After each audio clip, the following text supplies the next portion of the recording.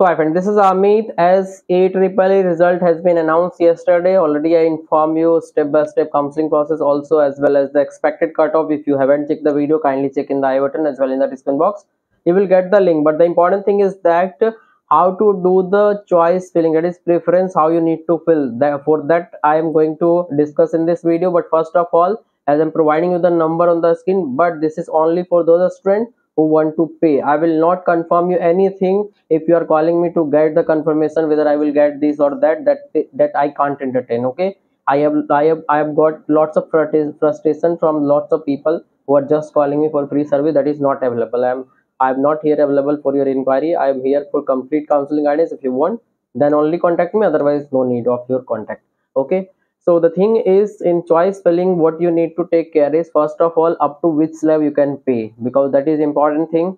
And also which campus you are looking what you don't want at all. Don't try to fill on any of those choice because once you get the seat you will have to pay the fee that is mandatory.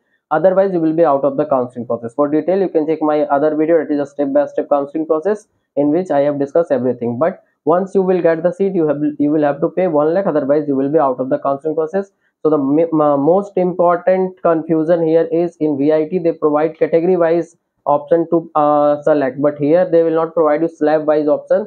They will just ask you one branch like cse coimbatore cse bangalore mechanical uh, uh, coimbatore electrical bangalore. Like this you will put depending on your rank and the cutoff you will get the slab. It, it can be four slab also three slab also two slab also. But suppose if your parents is ready up to slab 2 only or slab 1 only if you get if you will get slab 3 what you will do?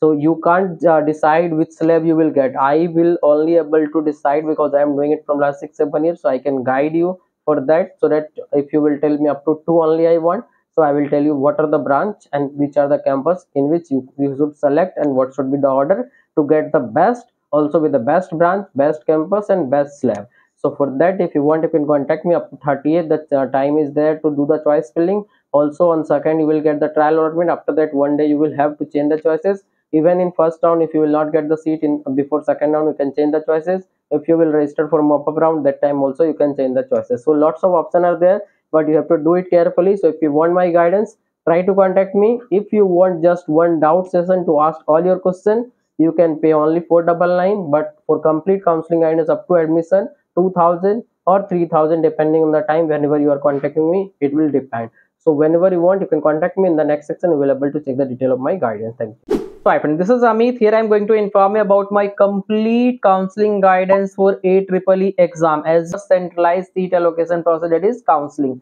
CSAP. For that I will guide you one to one that is what is best for you best uh, based on your rank what will be the choice filling best order I will provide you personally. You can join through my app or you can join through my WhatsApp also in the description everything is available. So one to one I will guide you so that you will save your money by getting the better slab to pay less fee. Also I will provide you three things best slab best branch best campus out of your rank whatever you have. So there is lots of thing lots of critical thing in the counseling process. Once you do mistake you may not get the best campus or if you get higher slab you may, your parents have to pay more fee so to save everything and get into the best possible uh, branch and campus kindly contact me for complete counseling guidance. I will be guiding you one to one until your final admission is done i will be connected all the time. You can call me text me and there will be video session live also so that you can ask your question as well